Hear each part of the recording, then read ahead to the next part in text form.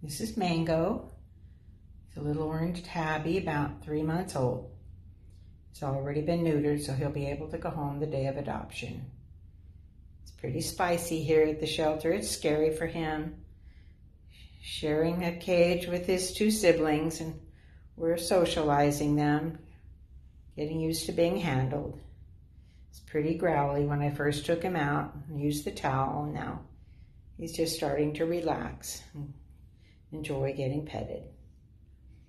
Hopes to be adopted. This is Mango.